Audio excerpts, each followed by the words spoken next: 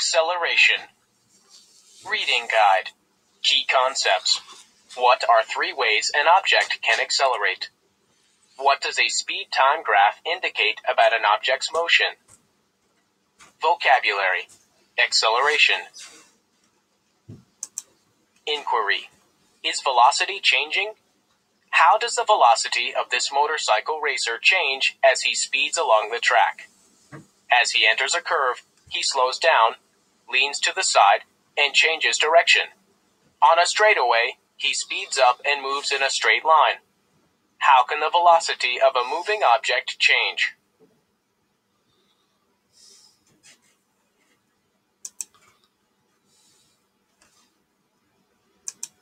Acceleration. Changes in velocity. Imagine riding in a car. The driver steps on the gas pedal, and the car moves faster. Moving faster means the car's velocity increases. The driver then takes her foot off the pedal, and the car's velocity decreases. Next, the driver turns the steering wheel. The car's velocity changes because its direction changes. The car's velocity changes if either the speed or the direction of the car changes. When a car's velocity changes, the car is accelerating. Acceleration is a measure of the change in velocity during a period of time. An object accelerates when its velocity changes as a result of increasing speed, decreasing speed, or changing direction.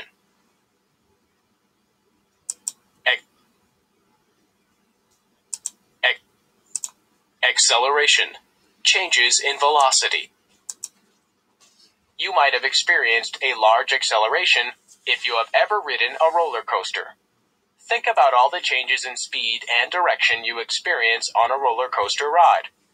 When you drop down a hill of a roller coaster, you reach a faster speed quickly. The roller coaster is accelerating because its speed is increasing. The roller coaster also accelerates any time it changes direction. It accelerates again when it slows down and stops at the end of the ride.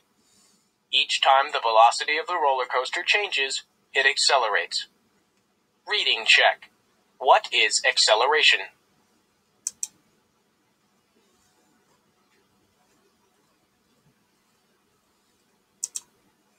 Representing acceleration.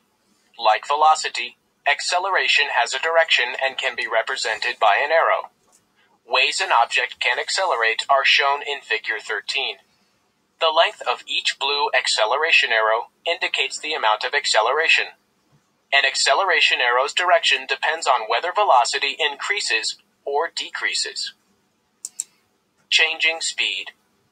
The car in the top picture of figure 13 is speeding up.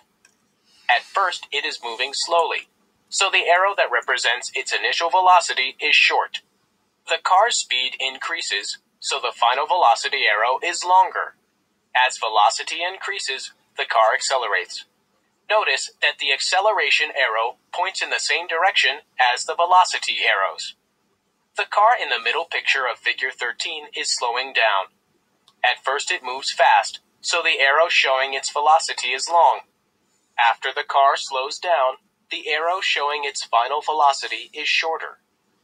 When velocity decreases, acceleration and velocity are in opposite directions. The arrow that represents acceleration is pointing in the direction opposite to the direction the car is moving. Reading check. In what direction is acceleration if an object is slowing down? Changing direction. The car in the bottom picture of figure 13 has a constant speed, so the velocity arrow is the same length at each point in the turn. But the car's velocity changes because its direction changes. Because velocity changes, the car is accelerating. Notice the direction of the blue acceleration arrows. It might surprise you that the car is accelerating toward the inside of the curve. Recall that acceleration is the change in velocity. If you compare one velocity arrow with the next, you can see that the change is always toward the inside of the curve. Key concept check. What are three ways an object can accelerate?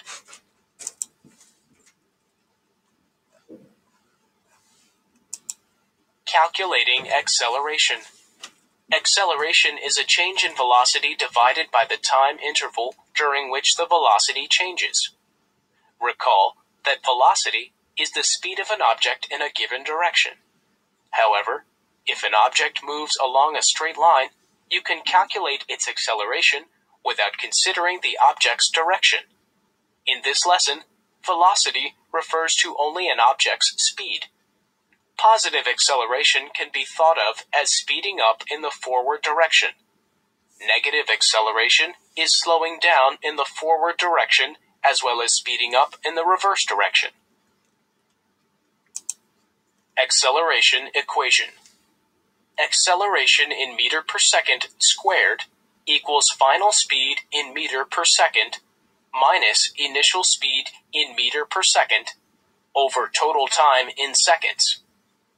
A equals V subscript F minus V subscript I over T.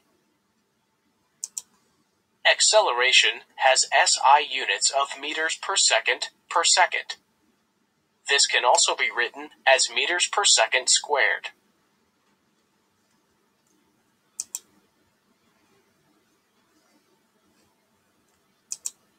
Speed time graphs. Recall that you can show an object's speed using a distance time graph. You also can use a speed time graph to show how speed changes over time. Just like a distance time graph, a speed time graph has time on the horizontal axis, the x-axis. But speed is on the vertical axis, the y-axis. The figures on the next few pages compare distance time graphs and speed time graphs for different types of motion. Object at rest. An object at rest is not moving, so its speed is always zero. As a result, the speed time graph for an object at rest is a horizontal line at y equals zero, as shown in figure 14.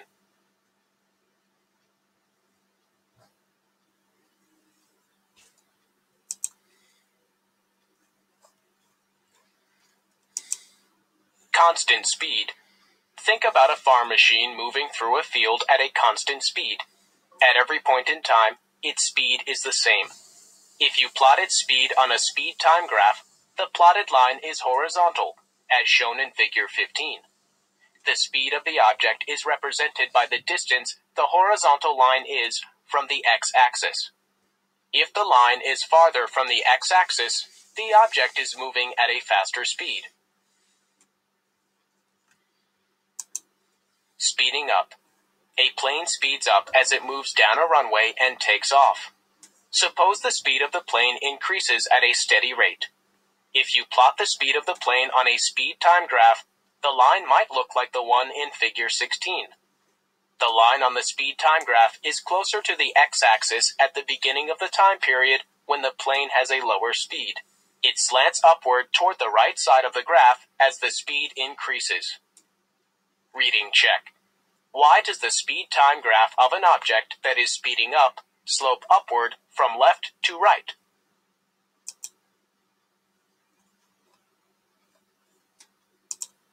Slowing down. The speed time graph in figure 17 shows the motion of a space shuttle just after it lands. It slows down at a steady rate and then stops. Initially, the shuttle is moving at a high speed. The point representing this speed is far from the x-axis. As the shuttle's speed decreases, the points representing its speed are closer to the x-axis. The line on the speed time graph slopes downward to the right.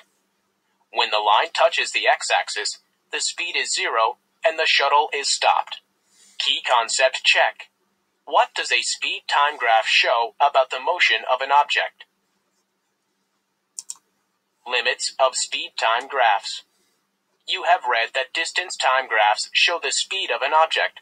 However, they do not describe the direction in which an object is moving. In the same way, speed time graphs show only the relationship between speed and time. A speed time graph of the skier in figure 18 would show changes in his speed. It would not show what happens when the skier's velocity changes as a result of a change in his direction. Summarizing motion. Now that you know about motion, how might you describe a walk down the hallway at school? You can describe your position by your direction and distance from a reference point. You can compare your distance and your displacement and find your average speed. You know that you have an instantaneous speed and can tell when you walk at a constant speed. You can describe your velocity by your speed and your direction. You know you are accelerating if your velocity is changing. Visual check. The skier slows down and speeds up along the curved path. Describe a speed time graph of this motion.